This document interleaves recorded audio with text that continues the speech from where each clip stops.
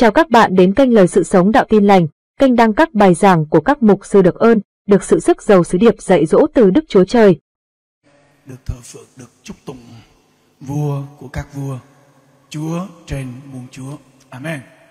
À, như thường lệ, Chủ nhật chúng ta có sự nhóm học thánh ở tại nơi chốn này.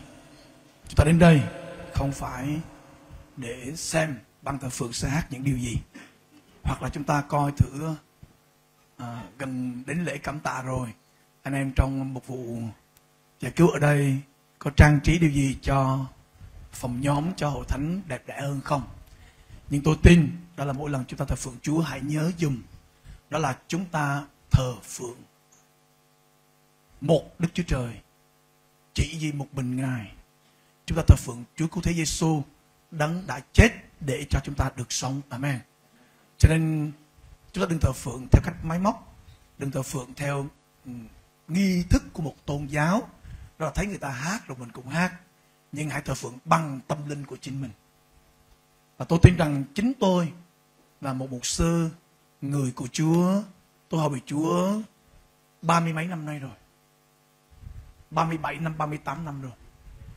Nhưng mà khi tôi thờ phượng bằng tâm linh, bằng tấm lòng thành thật của tôi với Chúa, chính tôi là người được phước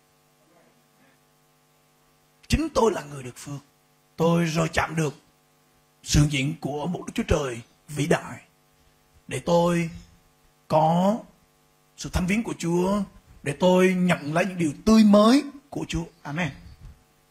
Không ai thích ăn những món ăn cũ cứ hâm đi hâm lại sao tới sao lui.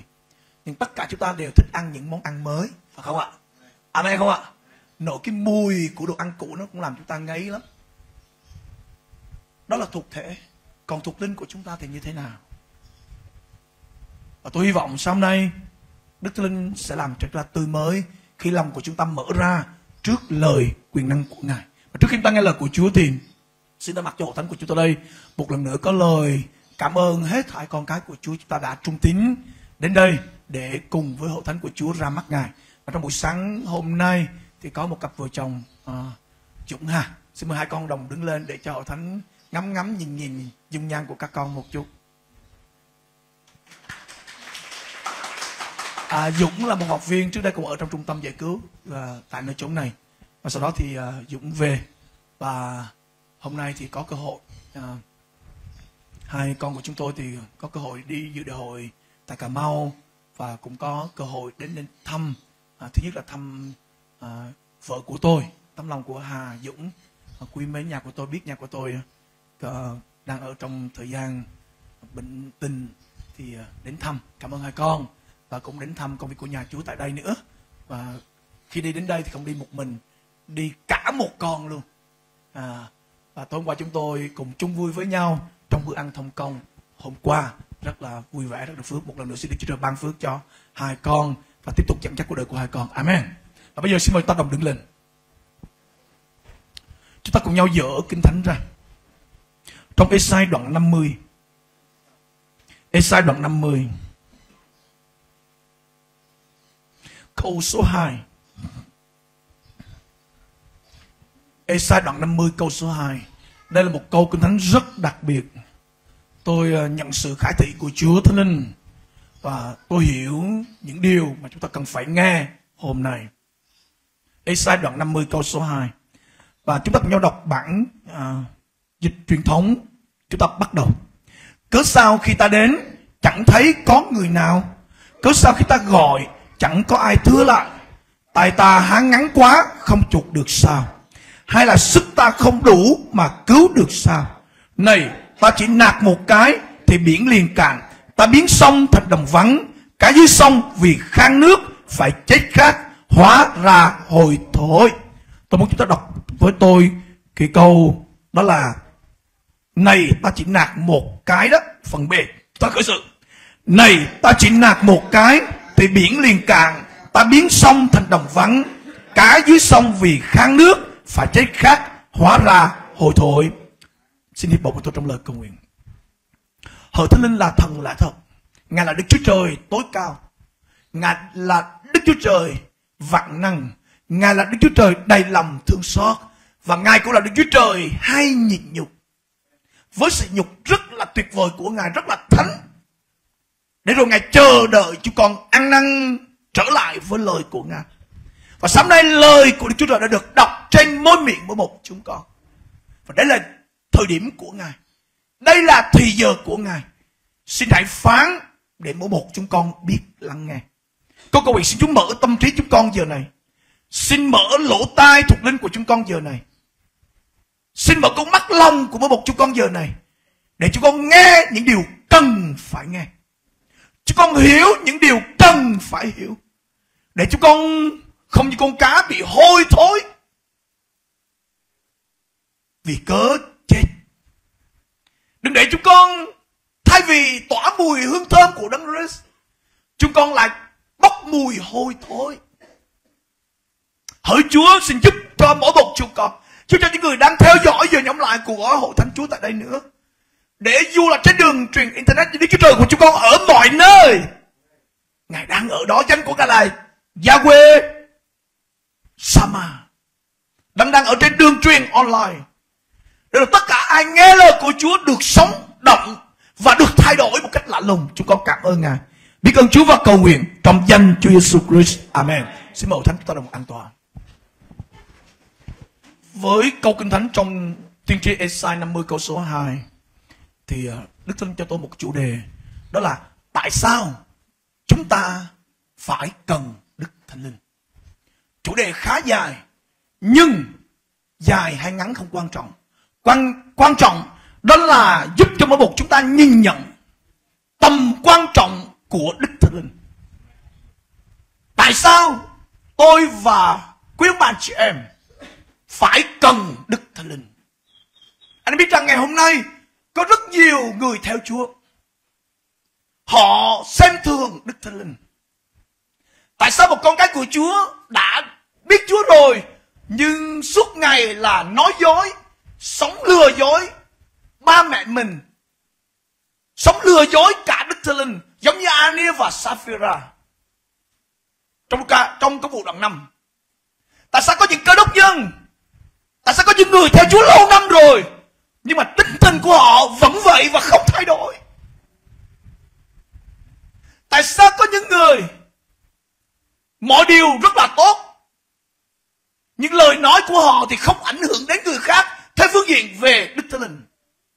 Lời nói của họ không đem lại sự sống cho người nghe, Nhưng lời nói của họ có thể làm tàn hại người khác.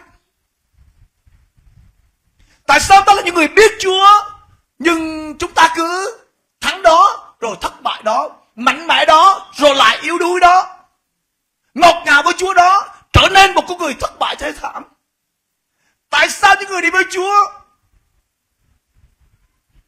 Khi nghe nói đến tiền thì ai cũng cười.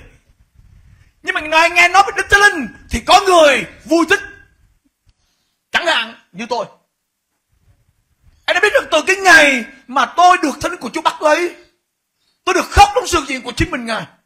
Cho đến giờ phút này, mỗi lần nghe đến Đức Thánh Linh, hay là Chúa Thánh Linh, hay là Thánh Thần, hay là Linh của Đấng Christ, Linh của Đức Chúa Trời, tôi đều rất trân trọng, yêu thích, tôn trọng. Amen. Tại sao đời sống của những con người chúng ta thấy họ tốt đó, phải ta nghe những cái thông tin thật là đáng buồn. Họ trở nên một con người thất bại. Tại sao có những con người đầy ơn của chúa? Và sau đó chúng ta nhìn thấy họ bắt đầu lui đi. Và họ sống gần thế gian hơn là sống gần với đức thánh linh. Chúng ta biết rằng sứ đồ Phaolô, ông là một con người chưa biết đức thánh linh là ai. Trước khi ông đổi tên thành Phaolô, thì ông có tên là Sauler, phải không? Đứa con nít nghe tên ông cũng sợ nữa. Dù ông theo đạo Do Thái Nhưng ông là người bắt bớ Chúa Giêsu. Ông sẵn sàng có lệnh và bắt tống giam tất cả từ người đàn bà cho đến con trẻ. Hễ ai dám nói mình tin Chúa Giêsu thì ông bắt, ông đánh, ông đập, ông tra tấn họ và ông đẩy họ vào tù. Nhưng chính một con người rất gian ác đó, một con người độc ác đó một con người, ai nghe cũng sợ. Ai thấy cũng khiếp vía. Nhưng bắt đầu, sau khi ông được thay đổi, ông cũng được bắt tên trong đức thánh linh. Amen. Anh em để ý giùm tôi. Công vụ đồng chính nói rất rõ, ông được bắt tên trong đức thánh linh, ông được chữa lành đôi mắt của ông. Và ông trở nên một con người biến đổi một cách khác thường. Đến mức tôi ngạc nhiên chúng ta dở kinh thánh ra và chúng ta thấy trong công vụ đoạn 19 có một câu hai tôi xin đọc trong khi Apollo ở thành Corinto, Phaolô đã đi khắp miền trên rồi xuống thành Epheso gặp một người một vài người môn đồ ở đó. Chúng ta thấy Phaolô bắt đầu hỏi cái gì đây? Ông cũng hỏi những người tin Chúa tại thành Epheso rằng từ khi anh em tin, anh em có lãnh được tiền bạc không? Từ khi anh em tin, anh em có lãnh được uh, phước hạnh về vật chất không? Từ khi anh em tin, anh em có nhận lãnh được đất thêm đất, nhà thêm nhà, cửa thêm cửa không? Không! Nhưng Phaolô là một con người chúng ta để ý, ông là một người cực kỳ gian ác. Nhưng khi ông được bắt tên Đức tin ông được biến đổi. Tôi muốn ta suy nghĩ một chút, tất cả ở đây bao nhiêu người được bắt tên Đức Linh rồi? Xin lòng giơ tay. Bao nhiêu người được bắt tên Đức Linh rồi? Đa số phải không ạ? Có những người vẫn cầu nguyện tiếng lạ nhưng đời sống họ không thay đổi chút nào cả. Như vừa rồi tôi dẫn tại Cà Mau, tôi đã thú thật với với đại hội gì? Tôi từng tôi đã từng hầu việc Chúa trong sự nhiệt tình của tôi. Nhưng tôi không được sức giàu bởi Đức Thánh Linh. Có nhiều người nhiệt tình cho mọi công việc trong hội thánh lắm. Đôi khi đó là bản năng của họ. Đôi khi đó là tố chất của họ. Họ nhiệt tình. Nhưng anh em đừng nhìn ai nhiệt tình và nghĩ rằng họ được đầy dạy Đức Thánh Linh. No. Và coi chừng những người nhiệt tình mà không có Đức Thánh Linh, thì họ là kẻ phá hoại công việc của hội thánh Chúa. Những người chồng nhiệt tình với vợ của mình nhưng không đầy dạy Thánh Linh, thì chính người chồng đó sẽ phá hoại hôn nhân mà Đức Chúa Trời đã ban cho chính mình. Anh em sứ đồ Phaolô đến hội thánh Epheso, ông không hỏi người ta một câu hỏi nào, mà ông hỏi một cái câu hỏi rất là trọng tâm mà chúng ta cần phải hỏi mình hôm nay. Ông hỏi gì à? Đó là từ khi anh em tin có lãnh được Đức Thánh Linh chăng? Anh em thấy sứ đồ Phaolô, ông coi Đức Thánh Linh là cao trọng hơn bất cứ điều gì thuộc về vật chất cho tôi nghe chị Amen. Ông biết Đức Thánh quan trọng hơn tiền bạc. Bất cứ thời đại, bất cứ thời đại nào, bất cứ bối cảnh nào, tiền bạc nó cũng có cái giá trị của nó cho tôi nghe chị Amen. Cho tôi nghe chị Amen.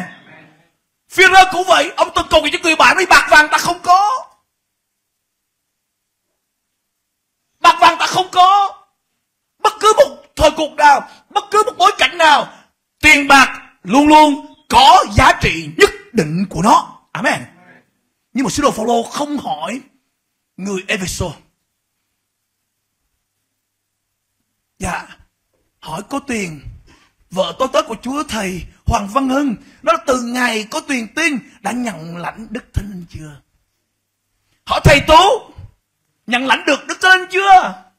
Hỏi cô Hương, vợ Thầy Tú nhận lãnh được Thánh Linh chưa? Cô Hương trả lời là, anh ơi, cho em ăn cái cục này nữa đi. Em sẽ không ăn gì, cục gì biết không? Cục xương tối hôm qua. Anh em, chúng ta để ý giùm tôi. Sứ đồ Phaolô, ông hỏi họ đúng một câu mà ngày nay ít ai hỏi. Nhưng câu này là câu quyết định đời sống chúng ta thành hay bại nè. Phước hay họa nè. Amen. Hạnh phúc hay là rủa xả nè. Đó là từ ngày tôi và em tiên, chúng ta đã nhận lãnh Đức Thánh Linh chưa? Như khi nãy tôi nói, tại sao có những người đi với Chúa tôi thấy họ nhiệt tình, nhưng mà họ chưa nhận lãnh được Đức Linh cho nên họ nói theo cách của con người cũ. Họ hành xử theo cách người cũ, họ hầu vì Chúa theo cách của người cũ. Amen. Họ làm chồng hay làm vợ, làm cha hay làm mẹ theo một con người thiên nhiên, theo một con người xác thịt. Sứ đồ Phaolô ông hỏi người Epheso từ khi anh em tin có là tin Chúa Giêsu đó có lãnh được Đức Thánh Linh chăng? Có nghĩa là chúng ta sở hữu được Ngài chưa? Chúng ta sở hữu được Ngài chưa? Chúng ta có mối quan hệ tốt với Ngài không? Amen. Và câu hỏi này làm tôi và anh và phải suy nghĩ. Trong phòng, trong một thánh của Chúa, Giêsu Christ hôm nay, có những người đã từng đầy dạy Đức Linh cho tôi nghe chả mấy Sống cùng nhiệt với Chúa, sống vứt bỏ tất cả mọi sự ở đằng sau. Thế giới vật chất ở đằng sau. Amen. Thập tự giá sẵn sàng vác đi theo Ngài. Chúng ta đầy dạy Thánh Linh của Chúa đến mức độ chúng ta sẵn sàng từ bỏ hết những điều chúng ta đã vui thích nó. Amen. Nhưng bao nhiêu người thừa nhận rằng thời gian được Đức Thánh Linh kiểm soát nó quá ngắn. Và sau đó có một thời điểm nào đó, có một lúc nào đó, ai đó trong hội thánh của Chúa hôm nay, chúng ta không còn tôn trọng Đức Thánh Linh nữa. Amen. Mà chúng ta quay trở lại tôn trọng thế giới này. Tôn trọng tiền bạc, tôn trọng danh dự, tôn trọng danh vọng, tôn trọng về tiền, về bạc, về tài sản, về vật chất, về của cải, về xe cộ, về tất cả điều mà mắt chúng ta thấy. Tôi cần đi với Chúa, những điều mắt tôi không thấy là những điều quan trọng nhất. Ai tin với tôi điều này nè Hãy nói với tôi Amen nè Tôi lặp lại. Những điều mắt tôi không thấy là những điều quan trọng nhất. Còn những điều mắt tôi thấy, xin lỗi, người thế gian họ không biết Chúa họ vẫn thấy. Mắt tôi thấy cái nhà, người thế gian vẫn thấy cái nhà. Thật tôi nghe chị Amen. Mắt tôi thấy tiền bạc, người thế gian họ cũng thấy tiền bạc. Mắt tôi thấy tài sản được kế thừa. Thì thế gian này họ tin Chúa đâu họ cũng thấy tài sản kế thừa. Nhưng họ không thể nhận lãnh được Đức Thánh Linh bởi vì họ đâu có biết Ngài đâu mà nhận. Nhưng mỗi một chúng ta biết rằng Ngài là một trong ba ngôi của Đức Chúa Trời đúng không? Amen. Và Ngài là Đức Chúa Trời. Có Ngài, chúng ta sẽ có thiên đàng trên đất này. Có Ngài, chúng ta sẽ nhận lãnh những điều mà chúng ta không thể nào mơ là chúng ta có được những điều đó. Amen. Amen. Thế thì anh em, hãy tự hỏi mình giờ phút này, hãy nhắm mắt lại. Và tôi sẽ đọc câu hỏi này mỗi một chúng ta suy gẫm nha. Tôi sẽ đọc câu hỏi của sứ đồ Phaolô. Anh em nhắm mắt lại. Từ khi anh em tin có lãnh được Đức Thánh Linh chăng?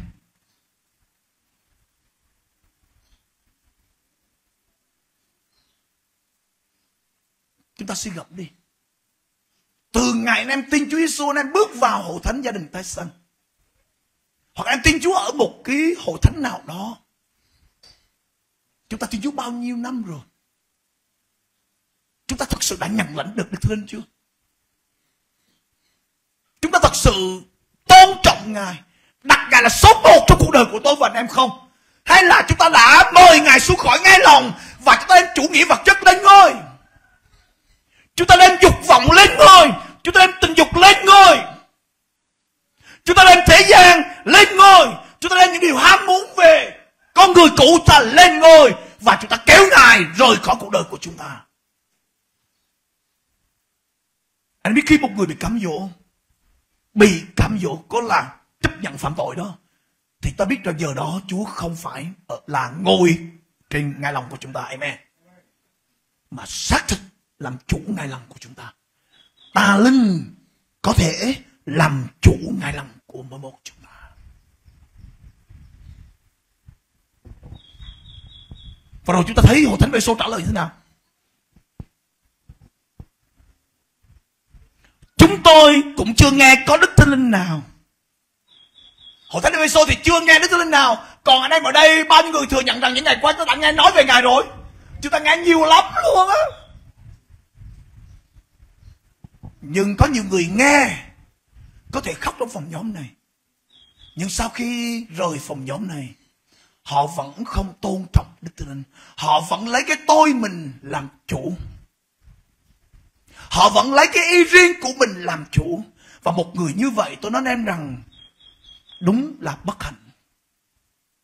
Người đó chưa từng có Chúa trong cuộc đời của chính mình. Bất hạnh.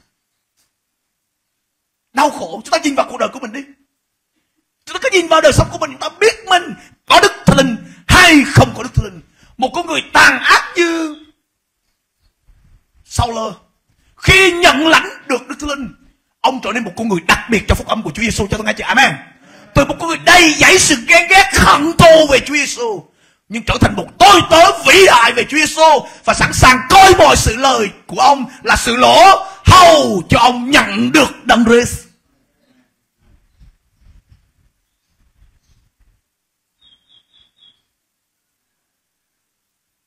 Anh em chúng ta không từ bỏ nổi có những lời nó có thể làm chúng ta bị tổn thương. Nhưng một con người khôn ngoan thì không để cho lời nói đó làm chúng ta bỏ cuộc. Amen. Một người khôn ngoan đó là bắt lấy cơ hội đó và nói ma quỷ rằng, mày nhầm rồi. Bây giờ ta là một con người khác. Ta không mắc mưu mày nữa. Nhưng ta sẽ nhờ cậy Chúa để thắng hơn cái lời nói khiến ta bị tổn thương, bỏ cuộc đó. Amen. Amen. Một người như Führer chối Chúa ba lần, bỏ chức vụ rất nhiều lần. Nhưng mà khi ông nhận định được Đức Linh, anh em thấy rằng Phaolô xin lỗi Führer không còn là một người nói dối nữa. Có đúng không anh em? Tôi trước đây cũng là một người chưa gặp gỡ Chúa nói dối lắm anh em. Nói dối với ba mẹ, nói dối với bạn gái. Xin lỗi em. Nói dối với nhiều người để tôi trục lợi họ. Nhưng khi tôi bắt đầu gặp gỡ Chúa, tôi không biết nói dối. Tôi ghét sự dối trá. Bởi vì sự dối trá không đến từ thánh linh, nhưng sự dối trá đến từ Satan, ma quỷ là cha của kẻ nói láo. Amen. Tôi ghét nó. Tôi không sống cho những điều dối trá quanh con nữa. Và bây giờ chúng ta trở lại với Esa 50. Chúng ta thấy điều gì Thứ nhất, chúng ta nhìn thấy Đức Linh bắt đầu trải lòng của Ngài ở đây. Esai 50 câu số 2. Anh em thấy cái nỗi lòng của Ngài này. Cớ sao khi ta đến chẳng thấy có người nào. Anh em hiểu điều này không vậy? Đức Thánh bắt đầu bày tỏ này. Cớ sao khi ta đến có nghĩa là ta hiện diện ở đây hôm nay. Nhưng ta không thấy người nào có tấm lòng cho ta cả. Tuyết với Cường thì nói gì, bố Sáng nay bố giảng 15 phút tụi con, sau Cái chủ nhật này con phải đi đám. Tôi đi đám hoài vậy? Dạ lần này con, tụi con có bốn cái thiệp mời luôn đó bố. Anh có nhiều con cái chúa đi nhóm chủ nhật không tập trung Vì cứ nhìn thấy mấy con tôm trong nồi lẩu nhảy sành sạch ở đó. Có nhiều người thấy con gà Chiên với xôi. Uh, man. Ngồi đây mà không thấy Đức Linh Thấy xôi Ôm gà Gà ôm xôi gì đấy. Chiên mỡ.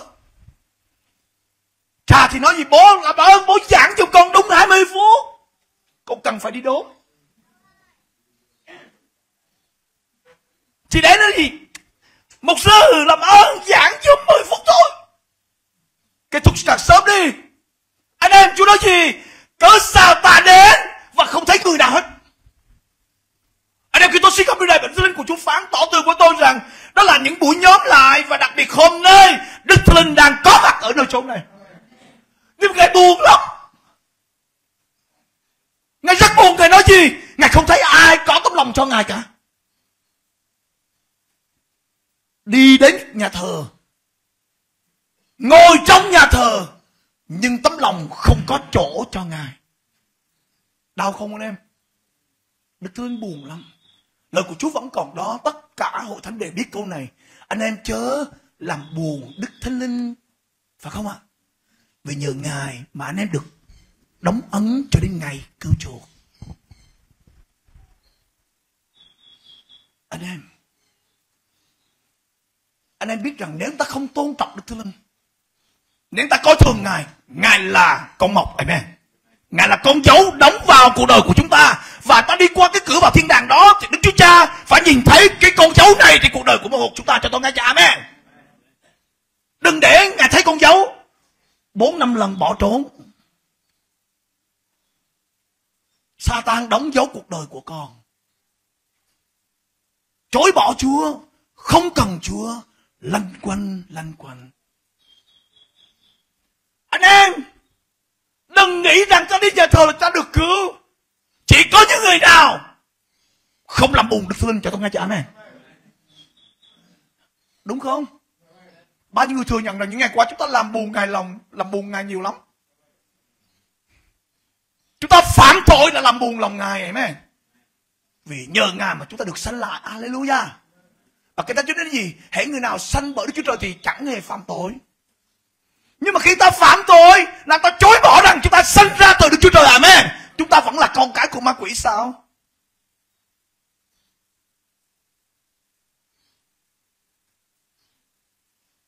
Anh em chúng ta suy nghĩ gì? Chúa Thánh phán rằng Cớ sao ta đến? Buổi nhóm nào người hướng dẫn thờ phượng cũng kêu gọi chúng ta Đó là chúng ta cùng một trong tập quý mời Thánh Linh của Chúa đến Anh em Ngài đến để làm gì nào? Cường, Theo con ngày đến con mời Thánh Linh của Chúa đến cuộc đời con để làm cái gì? Để chúc phước cho đám cưới của con, Nó dư chút Chúa. Đừng để con mắc nợ Chúa. Đức Thánh Linh đâu làm những cái chuyện vớ vẩn như vậy nè. Ngài đến với cuộc đời của tôi khi tôi hiểu này này là tôi phải xác quyết nha, khi tôi mời thánh của Chúa đến với tôi. Là tôi biết rằng Ngài đến không phải để cho tôi vui vui đâu. Ngài đến để xử lý con người xác thịt của tôi. Mà xử lý con người này thì cái thật sự anh em, xác thịt ngô tấn sĩ thì không thích đâu. Xác thịt thì thích ăn nhiều, đúng không mấy con âu hử? Có đúng không?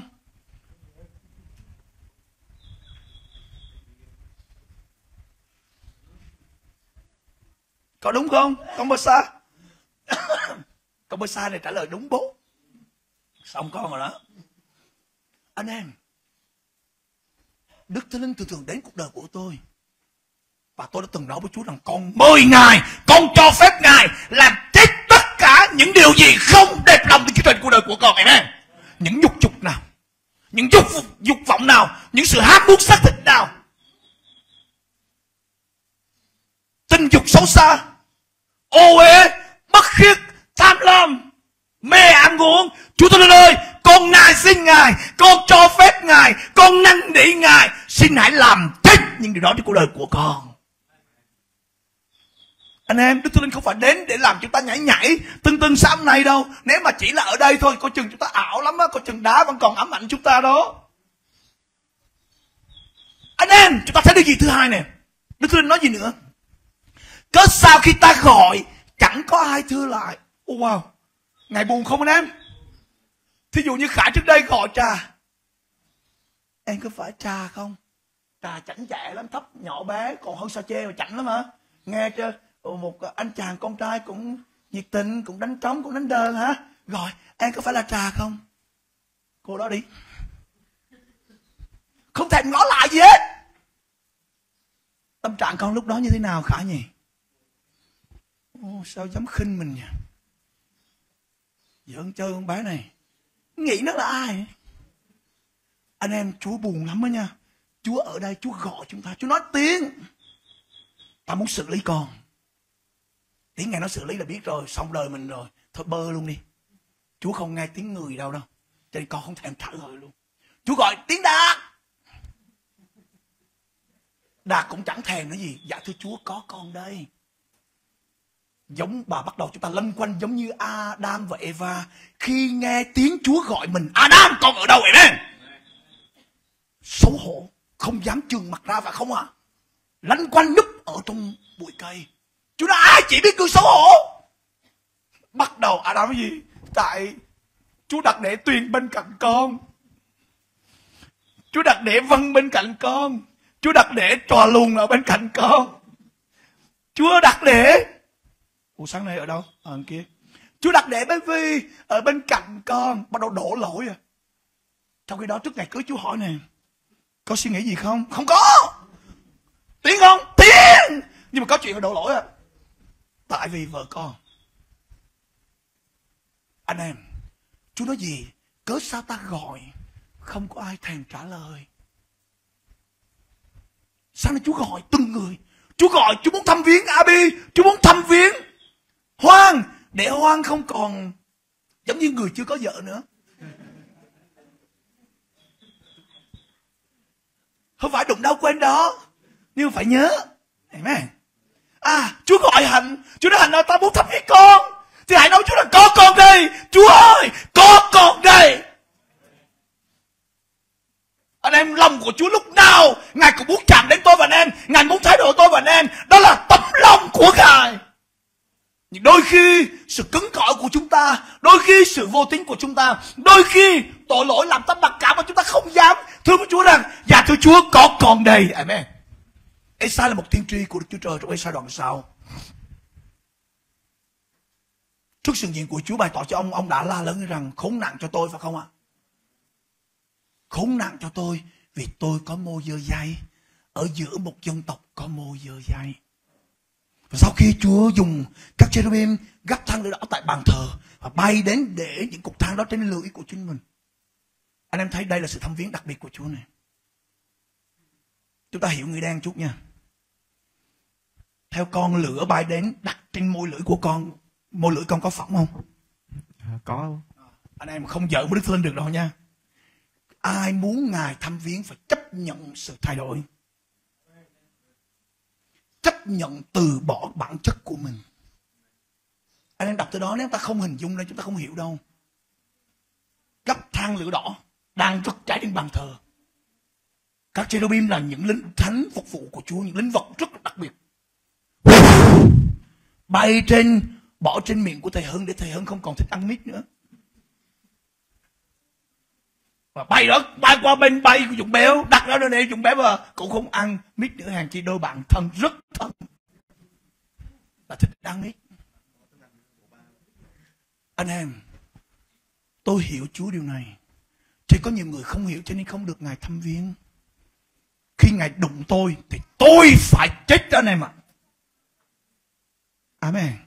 Vì cái đó mà có nhiều người đặt tay ngã xuống, đứng lên, vẫn là vũ như cẩn, vẫn là vũ như cẩn, vẫn là vũ như cẩn, vẫn là vẫn như cũ bả ngựa.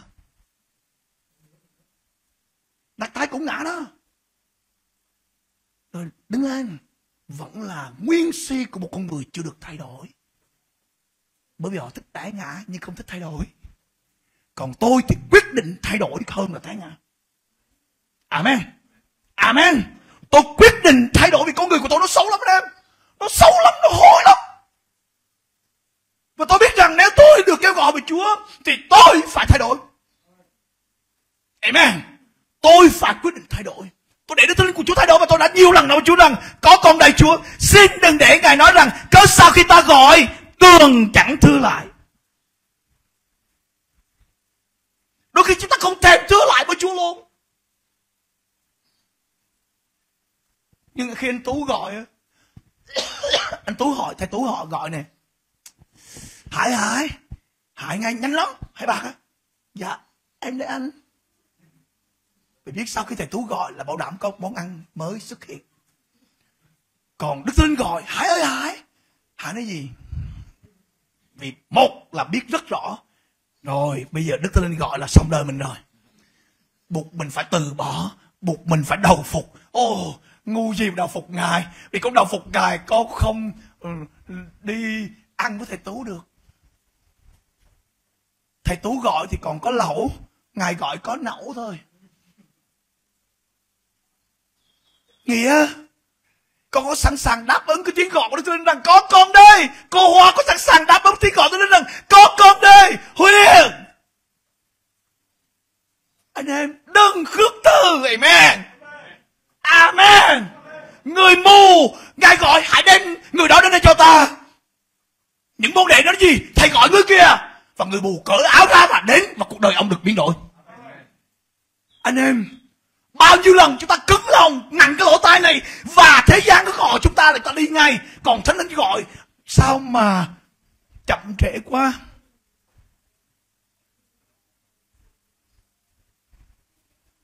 Thế gian gọi về quảng linh là đi liền ấy.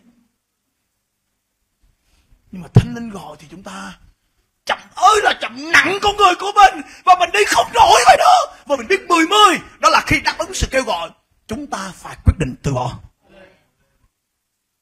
Vì cái đó có nhiều người không dám đến với ngài, đúng không? Đòi đi bắt không à? Thế bộ ngoài bắt mới có thánh linh chứ ở đây không có thánh linh à? Ngoài bắt nó ra từ đây đó con.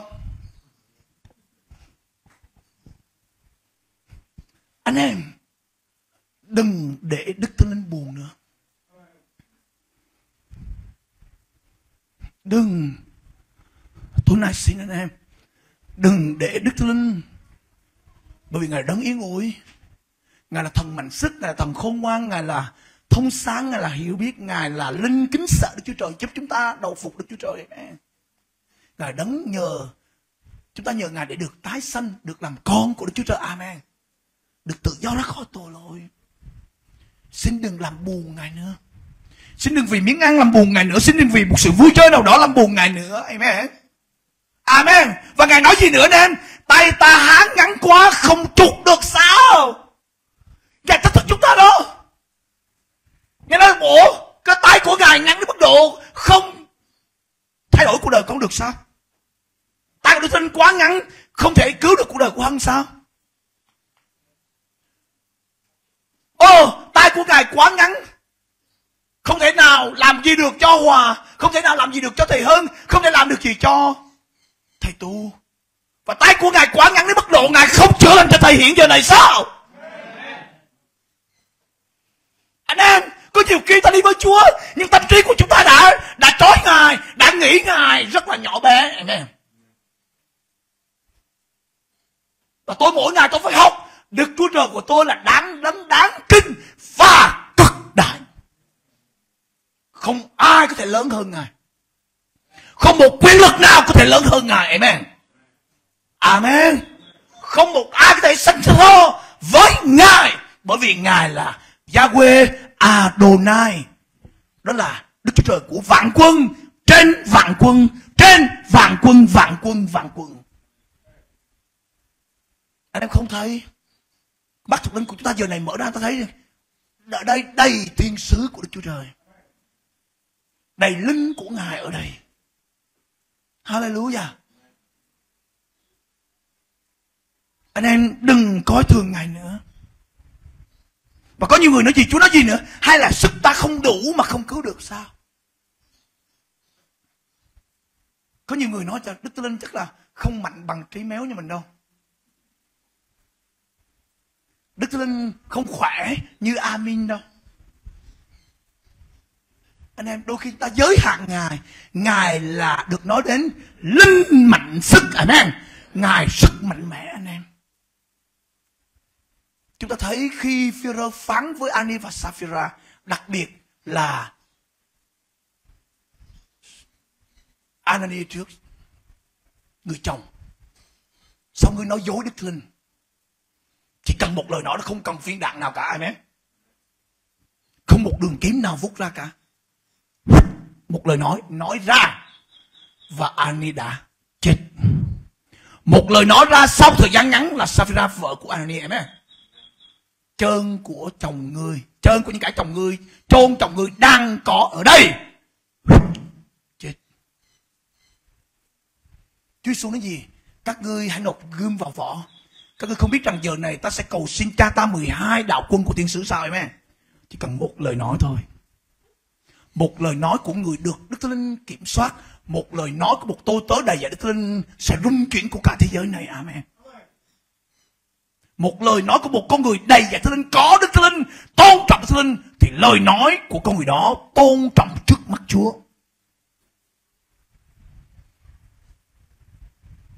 Và bây giờ chúng ta thấy điều gì? Điều thứ hai tôi muốn nói ở đây. Chúa nói này, ta chỉ nạt một cái thôi. Thì biển liền cạn.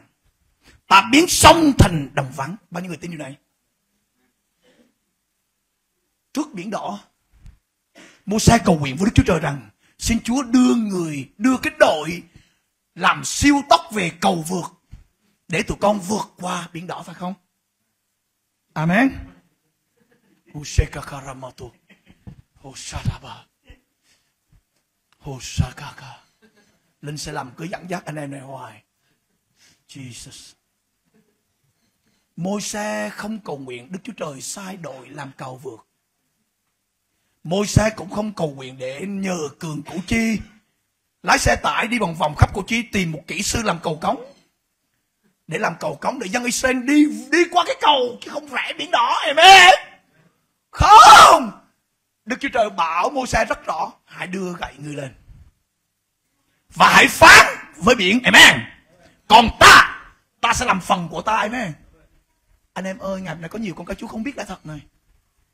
Đôi khi chú muốn chúng ta nói nói với hồn núi, nói bệnh tật của mình. Tôi luôn nói với nhà của tôi, em phải nói, Chúa nghe, Chúa sẽ làm cái phần của ngài. Amen.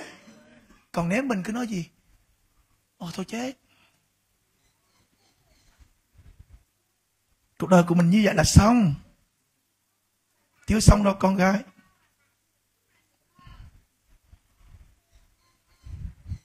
Cuộc đời mình đậm người quá chưa có bạn gái nào. Không quan trọng. Ồ oh, tóc bên trở lại bình thường rồi. Đẹp. Ok. Anh em chúa bảo một xe trước hãy gửi lên. Và hãy ra lệnh biển rải ra. Đúng không chúa bảo môi xe mà. Mà bây giờ chúng ta thấy gì? Chúa nói gì? Còn ta ta sẽ dẫn gió đến và đem gió đông đến, làm cho nước biển cuốn lên. Amen. Chúng ta hãy làm công việc của mình và chúa làm công việc của chúa. Hai thế lực này hiệp lại sẽ phép lạ xảy ra. Cho tôi nghe chị amen. Anh em ơi, quyền năng của chúa làm cạn biển, quyền năng của chúa làm cạn sông. Và bây giờ điều thứ hai tôi muốn nói nè câu chúng ta đọc riêng đó, đọc chung với nhau đó. Cá dưới sông vì khăn nước phải chết khác, hóa ra hôi thôi tôi muốn nói anh em biết rằng, con cá này là hình ảnh của những người theo chúa. Chúng ta thấy những chiếc xe ở bên ngoài khi tôi đi công tác đó, nhất là ở mỹ, chúng ta nhìn cái xe mà đi trước mặt mình là người tin chúa giêsu dễ biết lắm. Thứ nhất, đó là họ dán những cái đề can, đó là I love Jesus hay là Jesus love you hoặc là những câu kinh thánh nhưng có một cái chung chung đó là họ có những dáng những cái logo về hình con cá mà một người theo Chúa khi nhìn đó là biết một trăm phần trăm chiếc xe đi trước của mình là người đó tin Chúa Giêsu. Anh em, Chúa nói gì? Nước không có cá chết. Có phải không? Con thường cầu nguyện và nói với rằng chúng con cần Ngài như cá cần nước. Như con, chúng con cần hơi thở. Như ánh nắng mặt trời cần cho muôn loài vạn vật. Amen. Và bây giờ chúng ta để ý. Tôi sẽ đọc lại câu này. Cá dưới sông vì khang nước phải chết khác. Hóa ra hồi thôi. Con cá là hình ảnh của mỗi một chúng ta. Là người theo Chúa Giêsu. Amen. Nước hay là nước sông là hình ảnh của Đức Thánh Linh. Amen. Amen. Tôi là một người thích thích nuôi cá.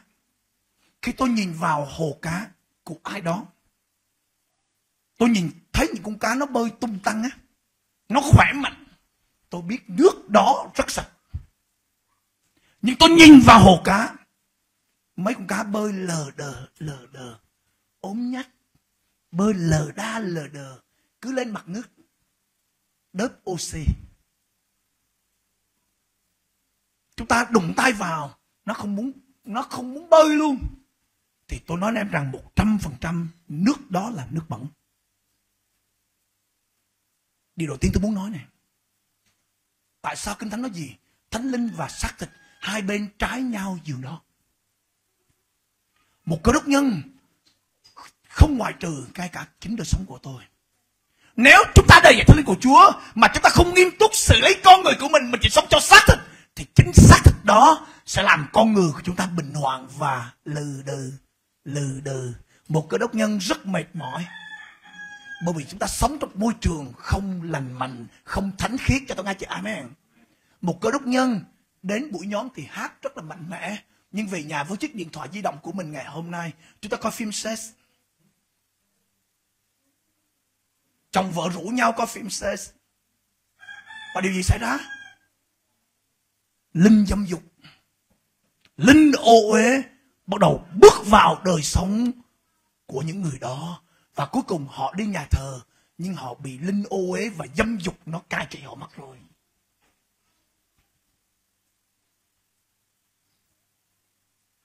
Tại sao thế hệ trẻ ngày nay bị giết rất nhiều qua chiếc điện thoại vậy? Bởi vì thế hệ trẻ không phải bởi game mà thôi đâu.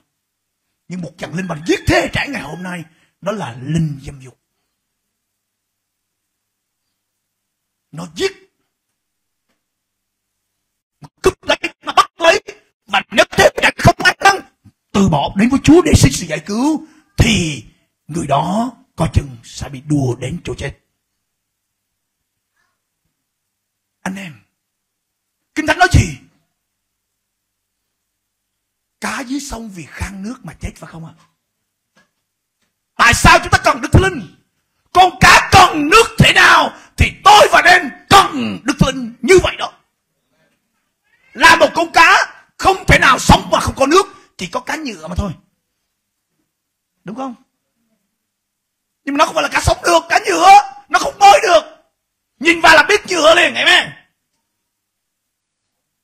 Anh em, một con cá sống là một con cá rất mạnh khỏe, năng động, bơi lội, tung tăng và sinh sản. Anh em chúng ta coi thử mình theo Chúa. Những năm tháng qua mình có sinh sản không? Bằng cách gì? Đời sống mình có kết quả không? Đời sống mình có kết quả cho Chúa không? Đời sống công việc có kết quả không? Đời sống người cái thờ phượng có kết quả không? Đời sống cá nhân chức đạo có kết quả không? Đời sống mình có làm gương cho bầy không? Anh em không ai trong chúng ta tự nhiên mà tốt được đâu, nếu không bởi Đức Thánh Linh. Con cá cũng vậy. Tại sao chúng ta thấy gì khi thay nước cá đó? Tôi là một người đã từng nuôi cá. Một tháng tôi thay một lần. hai phần ba trăm lượng nước được hút ra. Và thế vào đó là hai trăm phần trăm. hai phần ba lượng nước mới bỏ vào. Và con cá khi lượng nước mới bỏ vào. Anh em nhìn thấy nó đã lắm. Giống như mình được linh của chú thăm viếng vậy đó. Ô, một lượng oxy mới được bơm vào, nước trong lành, nước không còn cái mùi tanh tanh hôi vì có thức ăn ở trong đó nữa. Anh em hiểu tôi nói không? Và bắt đầu nó bơi tung tăng. Ồ nó bơi rất là nhanh, nó bơi nó lặn nó lách. Và khi tôi đến gần cái cái bể cá bằng kính đó, tôi đưa tay nó đến trường như là con cảm ơn ông ông sĩ nha. Con cảm ơn ông. Anh em, ngày nó có nhiều người mang tiếng là người phục vụ Chúa nhưng vẫn mang lấy một con người cũ vẫn mang lấy sự thâm viếng cũ cách đây 5 năm 10 năm về trước. Và cứ giảng đi giảng lại đúng ý kiểu như vậy thôi. Chẳng có gì tươi mới, chẳng có gì lạ lùng, chẳng có gì ngọt ngào, chẳng có sự gì của chúa. Cắt theo sứ điệp họ tuyên bố.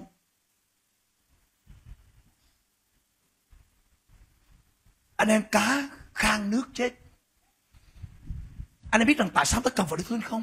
Mạng lệnh của chúa trong episode đoạn 5 có 18 là gì?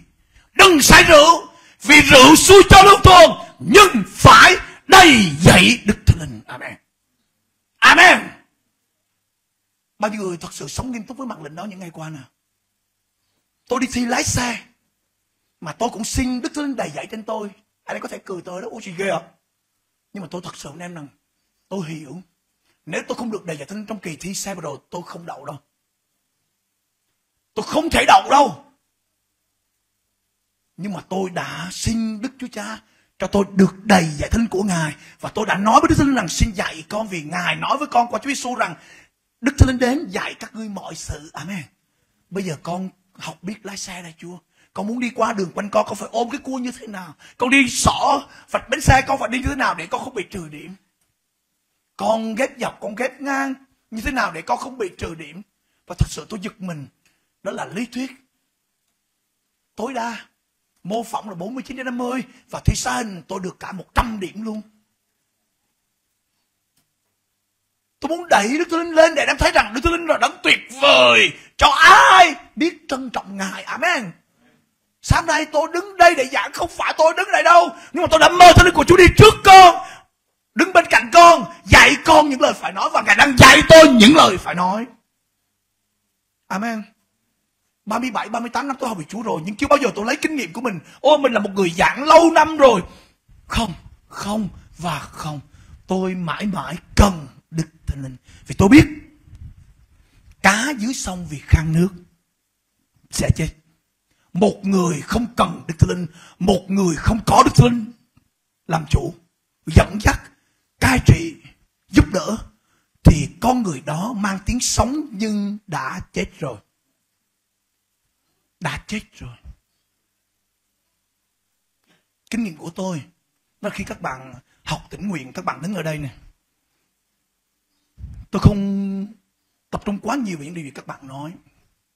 Nhưng sau khi tôi nghe các bạn nói xong á, các bạn xuống bên dưới các bạn sống như thế nào thì mới nói các bạn là người có Đức Thánh Linh. cũng tôi đi dự những cái buổi hội nghị ở trong giáo hội có những tôi tôi chú được mời giảng, họ hát ra lửa luôn á. Nhưng hội thánh địa phương thì nát bét. Hội thánh địa phương thì nát bét. Hội thánh địa phương không có sự sống của Chúa. Và đối với tôi, điều đó không phải là một chức vụ thật này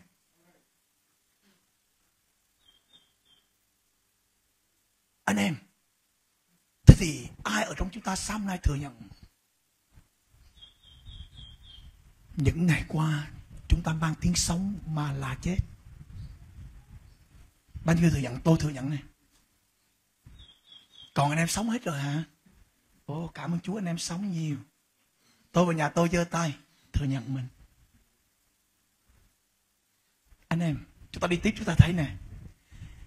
Bao nhiêu người đã đi trên bãi biển á? Và chúng ta nghe mùi cá chết nào. Nó thơm hay là nó thúi? Kinh khủng lắm. Con cá nước biển mà nó chết tôi nói anh em là kinh khủng. Con cá nước ngọt nó cũng vậy. Và anh biết gì? Đâu phải chết mà thôi đâu. Nhưng mà còn gây ra mùi thối nữa. Kinh thánh chúa nói đây này hóa ra hôi thối. Hóa ra nó chết á. Thôi cũng mừng đi. Lì quá, nó chết cũng đáng á. Nhưng mà đâu phải dừng ở đó người đó gây ra một cái tiếng vang không tốt cho phúc âm của Chúa. Amen. Gây ra mùi hôi thối. Người khác nói, Ủa, con cái Chúa gì kỳ cục vậy nè? Ủa, con cái Chúa gì kỳ cục vậy nè? Ủa, con cái Chúa gì như thế này? Ủa, nhân sự gì như thế này? Ủa, người hồi Chúa gì như thế này? Ủa, người đánh đầu gì như thế này? Và bắt đầu thay vì chúng ta tỏa hương thơm phải không? Có phải không? Nhưng mà người khác ngửi cái mùi thối từ nơi chúng ta. Anh em, Chúa chỉ được sáng danh khi chúng ta tỏa mùi thơm. Chúa rất là đau khổ và Ngài sẽ khóc khi chính chúng ta đã không cần được thương chúng ta chết như con cá vì không có nước. Một cơ đốc nhân có đi nhà thờ bao nhiêu nếu không nhờ thánh linh mà sống và bước đi theo Ngài thì cơ đốc nhân đó là cơ đốc nhân chết. Chỉ biết đi nhà thờ và chiều chủ nhật về, vô vô, ra ra. Có phải không? Bia, bọt, nhậu, nhạc. Tôi cái một thanh niên gần đây kể cho tôi, bôi bố, đó là cả có các đệ tớ của chú ngồi lại, họ nói rằng bố, ông một sư sĩ này giảng cái gì, ông giảng cái gì gì gì, ông có đồng nói về tội lỗi một chút. Đám tang ông cũng giảng về tội lỗi và ông kêu gọi người ta ăn năn nhưng mà bố biết gì không? Và trước khi cậu đó nói tiếp tôi nói gì? Con, bố đâu có để ý những điều đó. Chúa Giêsu mà còn bị nói xấu gì hữu gì bố. Nhưng mà thanh niên nói với tôi gì? Nhưng bố biết gì không? Đó là Chúa làm hay lắm. Một người đang ở trong bàn rượu. Tín đồ yếu đuối uống rượu.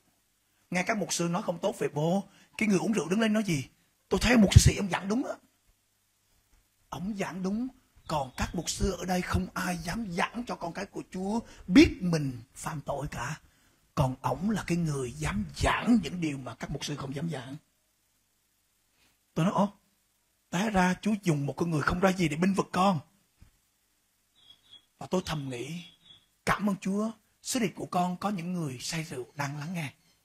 Và tôi tin một ngày đó những con người đó sẽ được giải cứu và Chúa dùng họ trả phúc âm của Ngài cho tôi nghe cha đấy.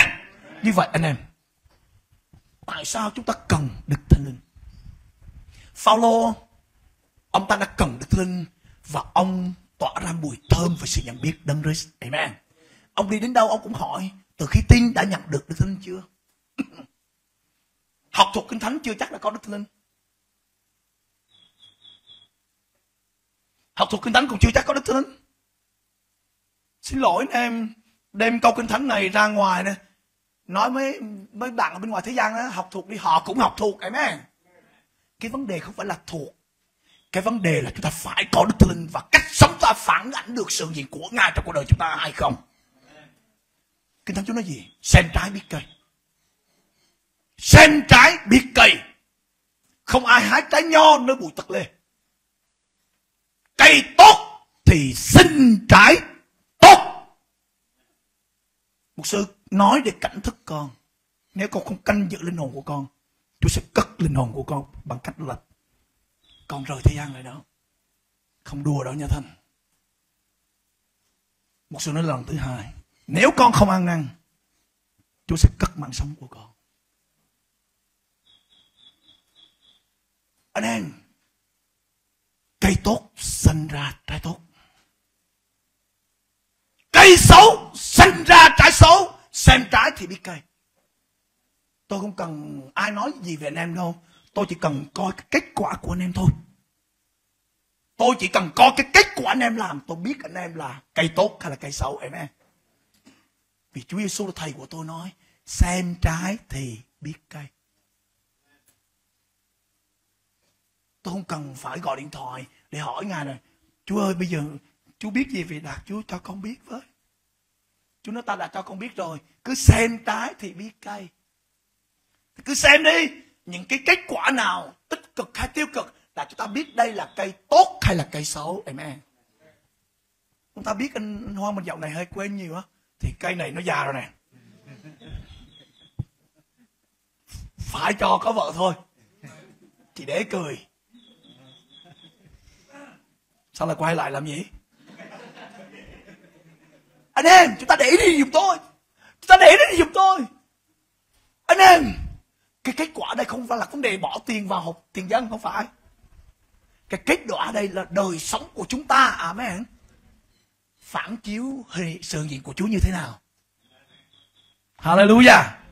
Phản ảnh sự diện của Chúa như thế nào? Như vậy nên thấy, tại sao chúng ta cần Đức Thánh Linh?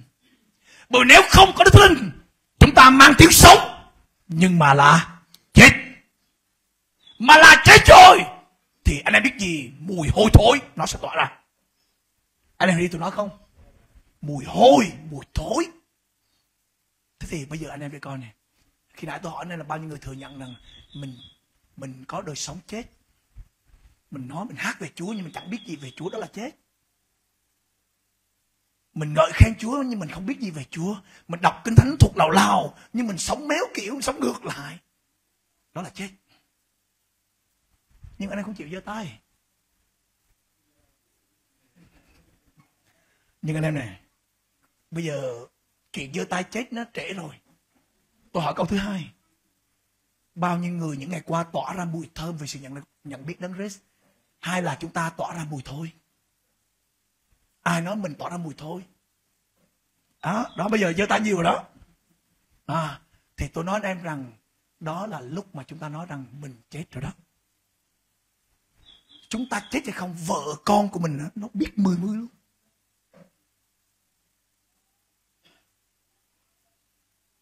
Vợ của chúng ta biết mười mươi luôn. Thí dụ như tôi này tôi là một người chết thuộc linh vợ tôi là một người biết rất rõ về chúng tôi ở chung phòng này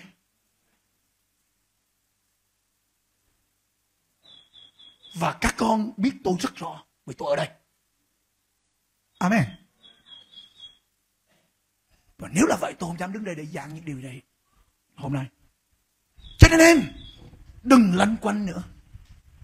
Đừng tự dối mình nữa. Cho tôi nghe chị, amen. Đừng tưởng rằng là mình ngon vừa rồi tôi có giảng ở tỉnh nguyện, ở cà mau. Và trong lời kêu gọi tôi tôi có nói rằng là ngày hôm nay có một loại bệnh. Nó nguy hiểm hơn cả ung thư luôn.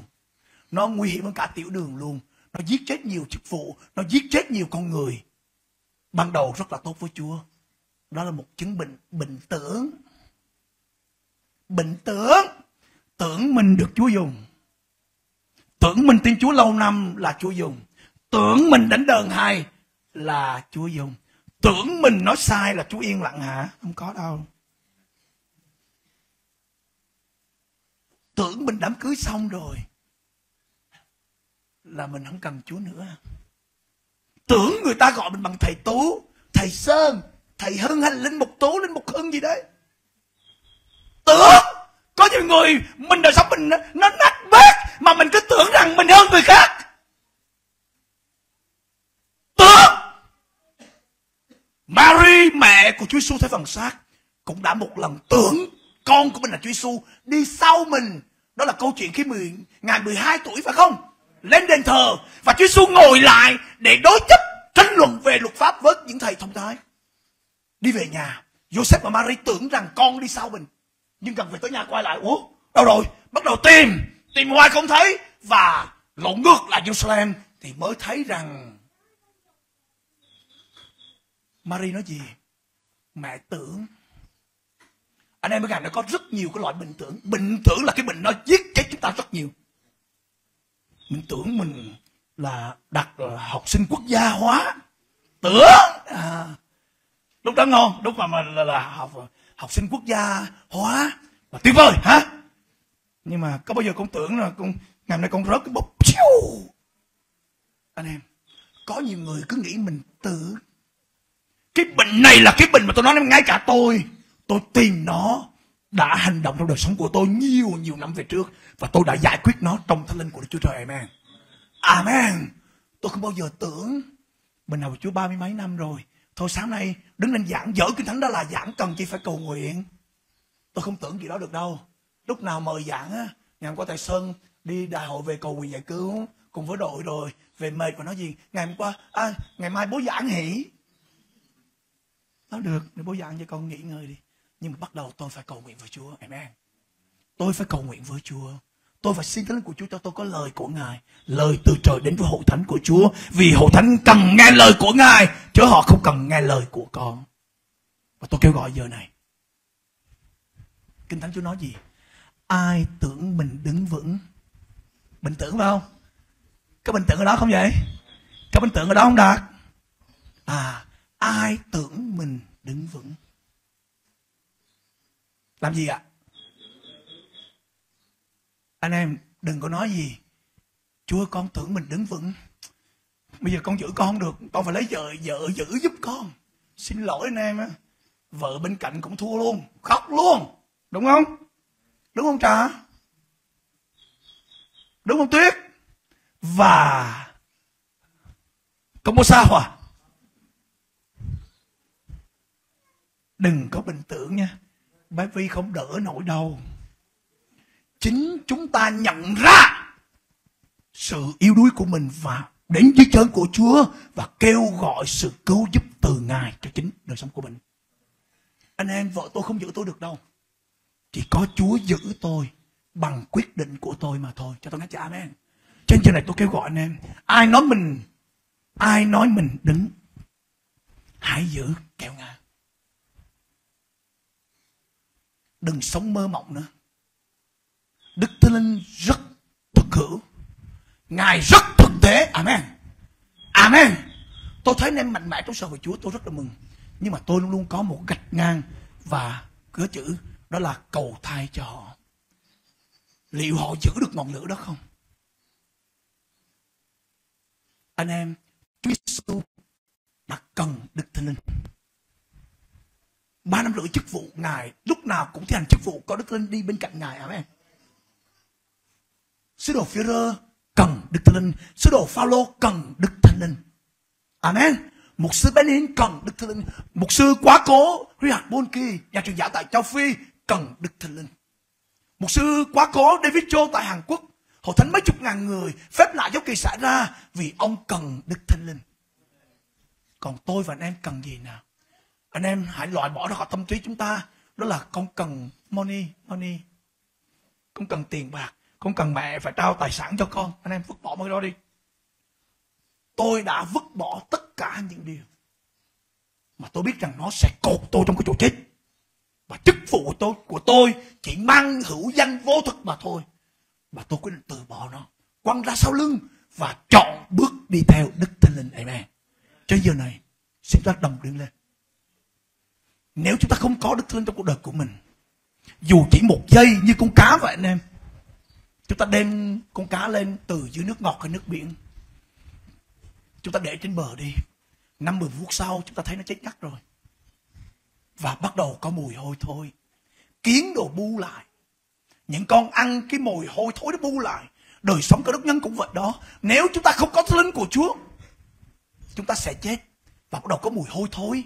Lũ tà linh đó là ô uế mọi cái tà linh sự chết bắt đầu nó xâm nhập vào đời sống của chúng ta bắt đầu cảm nhắm đời sống của tôi và anh em anh em chúng ta đâu được định cho điều đó amen chúng ta được định mang hình ảnh của Đức Chúa Trời bởi sự đầy dẫy của Đức Thánh Linh.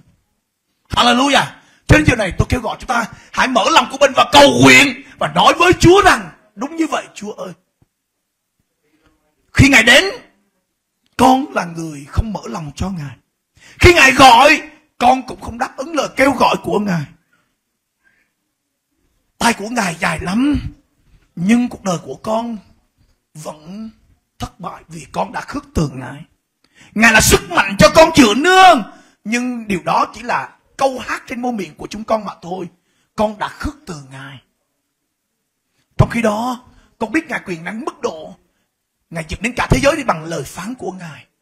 Ngài phán một tiếng, biển gió yên lặng như tờ. Ngài phán một tiếng, biển liền cạn Biển liền rẽ ra. Và Ngài làm cho sông trở thành đồng vắng Và cá dưới sông vì khăn nước mà phải chết khác. Hóa ra hồ thôi. Anh em ơi, hãy cầu nguyện. Hãy cầu nguyện ngay giờ này. Chúng ta không thể sống nếu thiếu Ngài được, anh em. Chúng ta sẽ không sống nếu thiếu Ngài được. Không sống có nghĩa là chết và chết rồi thì mùi hôi, mùi thối. Danh của Chúa sẽ bị nói phạm qua đời sống của tôi và anh em. Ừ. Anh em ơi, hãy cẩn thận điều này. Hãy cẩn thận điều này. Hãy hạ mình dưới tay quyền phép của Chúa. Hallelujah. Xin mời ban thờ phượng lên giúp cho bài hát.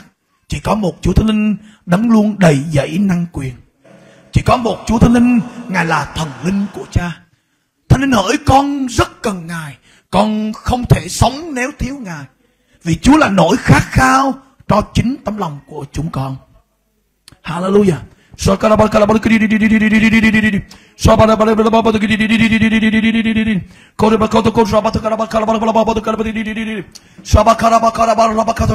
ta cứ tiếp tục cầu nguyện với Chúa, trải lòng mình với Chúa. Nếu ta cẩn thận hơn, hãy mở Esai 50 câu 2 ra để trước mặt mình và cầu nguyện trong sự dẫn dắt của Linh ngay giờ này.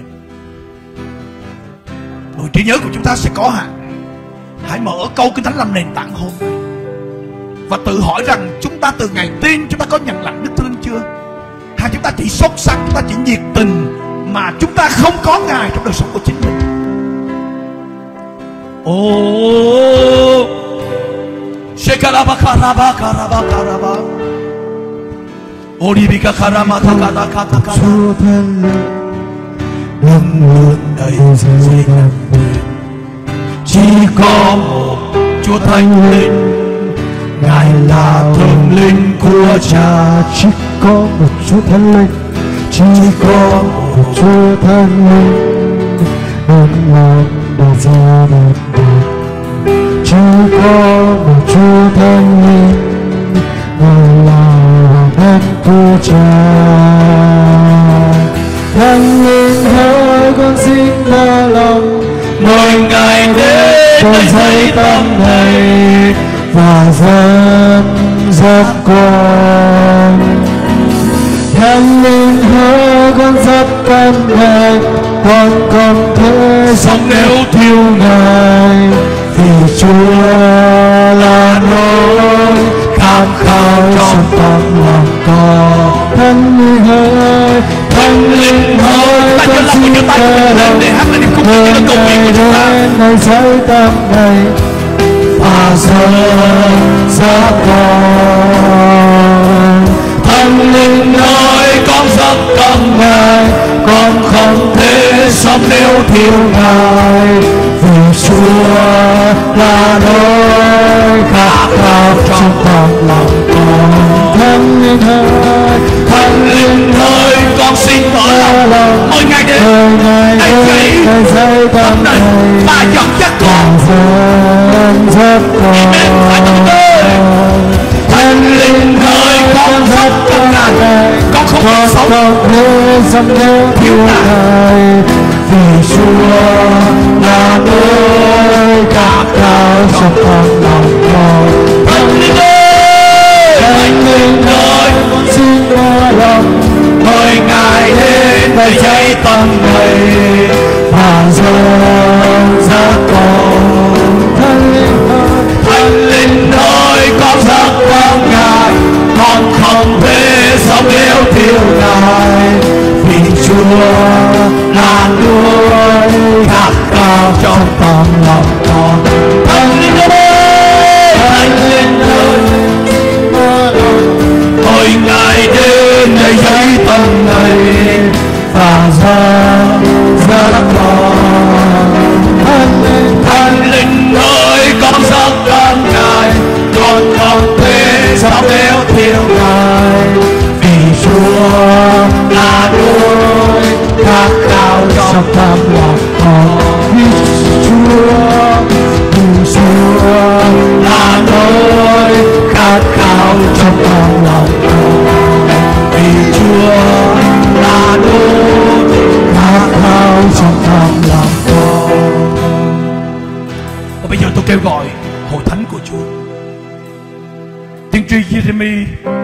rằng, hễ là bình thì sẽ đầy rượu. Và nguyên tắc của kinh thánh, đó là rượu mới chỉ đổ vào bầu da mới. Nếu ta kiên ăn cầu nguyện mà lòng của chúng ta không mới, thì chẳng có điều gì xảy ra hết. Nhưng nếu chúng ta hạ lòng và biết rằng chúng ta không thể sống mà không có đức thương linh được, chúng ta không thể làm một cơ đốc nhân mà không có đức thương linh được giờ mà không thánh linh được và nếu những ngày qua chúng ta biết mình như con cá sống mà không có nước, chúng ta chết mất rồi. Chúng ta bắt đầu bắt mùi hôi thối. Chúng ta làm không đẹp lòng Chúa, chúng ta phản chiếu những điều không làm cho Chúa có mùi thơm tho. Chúng ta đã không còn nhận lãnh Đức Thánh Linh nữa. Chúng ta không còn tôn trọng Ngài nữa. Chúng ta chỉ cần Ngài khi chúng ta gặp nan đề còn đời thương dường như chúng ta bỏ Ngài qua một bên. Anh em ơi, Ngài được nói đến như hơi thở. Những người trong phòng cấp cứu tại sao phải họ thở oxy? Bởi vì hơi thở trong đời sống họ không còn nữa. Anh em đừng chờ đợi đến lúc chúng ta cấp cứu. Đừng chờ đến lúc ta cần chết ngáp ngáp rồi. Chúng ta nói là chúng ta cần chúa. Hãy trở lại và ăn năn với chúa và nói rằng con cần ngài ngay giờ phút này. Và ai là những người cần ngài? Sống không thiếu ngài được. Thì xin hãy chạy lên phía trước. Xin các nhân sự giúp đỡ cho ba hàng ghế đầu. Chúng ta xếp vào bên trong. Hallelujah. Hallelujah Hallelujah, Lord. Kata kata kata kata kata kata kata kata kodoro Shekela makoto ko shakata kata Tôi kêu gọi Ai là người cần được của linh? Mấy trên đây đã sẵn sàng. Sự gì của Chúa đang ở nơi chốn này. Và nếu ta cần có người Hãy tiến lên với Ngài Đừng chạy đến với tôi. Hãy chạy đến với Ngài Jesus Có nên đã có những anh em bắt đầu tiến lên phía trước. Khi ta đứng lên rồi Hãy giơ tay giơ lòng của mình lên và cầu nguyện với Chúa. Thế nên con cần có Ngài Con đau phục Ngài Và con thừa nhận rằng con không thể sống nếu thiếu Ngài được. Con không thể làm một người theo Chúa Mà không có Ngài được. Hỡi Chúa con cần có Ngài Hallelujah Thánh linh ơi con rất cần ngài Con không thể sống nếu thiếu Ngài vì Chúa Là nỗi khát khao trong tâm lòng Thánh linh hơi con rất cần Ngài Con không thể sống nếu thiếu Ngài vì Chúa Là nỗi trong thâm lòng con thần linh nơi con xin mơ lòng, mời ngài đến phải chúa thưa thần ngay giờ này. Xin ngài đến và chúng con đón chúa thần có chúng con đây, có chúng con đây, có chúng con đây, có con đây chúa. Ơi chúng con thắt được lời kêu gọi của ngài. Đây con đón chúa thần có con đây, có chúng con đây chúa. Música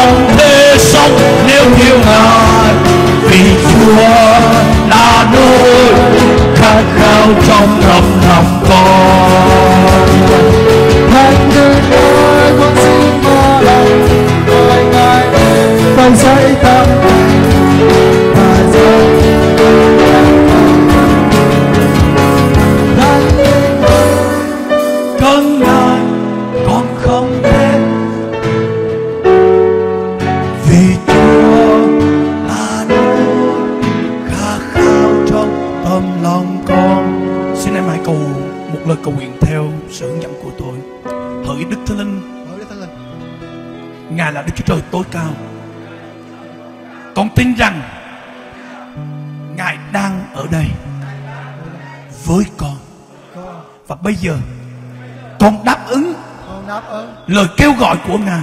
lời kêu gọi của ngài. Con thưa với Chúa rằng con thưa với Chúa rằng có con đây. có con đây. Xin thăm viếng con. Xin tham viếng con. Bằng lửa thánh của Ngài, bằng lửa thánh của ngài. Bằng đời sống đen thánh, bằng sự vận hành của Ngài. Và con nói với Chúa rằng có con đây. Xin ban thần linh của Ngài cho mỗi chúng con giờ này. Xin đây dạy trên con Thánh Linh là đấng con cần Thánh Linh ơi, con thú thật với Ngài. Những ngày qua, chúng con đã làm buôn Ngài rất nhiều. Con đã để ý về tiền bạc, về vật chất, về của cải, về thế gian này nhiều hơn là ngài. Và sáng hôm nay, con nhìn nhận, con giống như con cá đã chết vì không có nước không có sự hiện diện của ngài. Và con đã bốc mùi hôi thối. Vì chết chóc. Con bốc mùi xác thịt. Con bốc mùi kiêu gạo con bốc mùi vân không vân phục. Con bốc mùi hôi thối. Vì cớ không làm sáng thân ngài. Đức chúa trời ơi, xin dùng huyết của ngài ngay giờ này rửa sạch mỗi tội của chúng con. Con cảm ơn ngài. Và giờ này, con quyết định hãy giơ tay lên các bạn.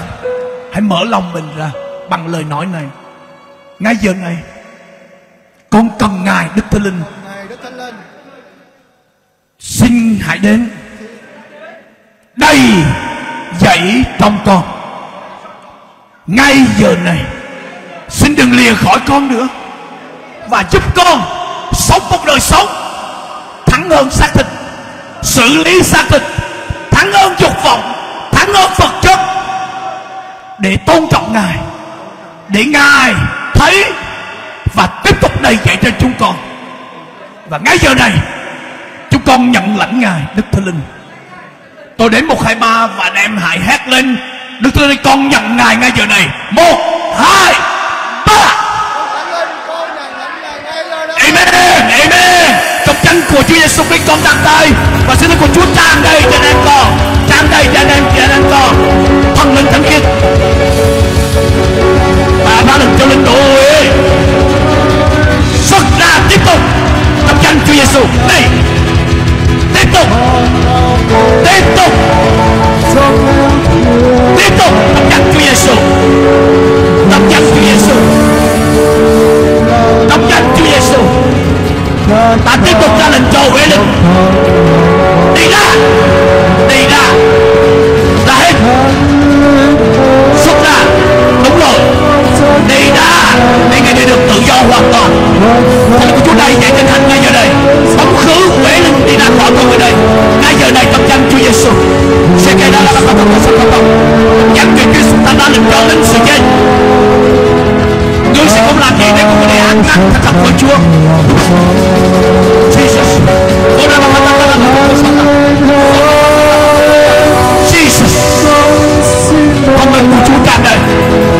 thánh của Chúa tràn đầy để cho ngôi nữ này sống đẹp lòng Ngài Thần linh của Chúa đây vậy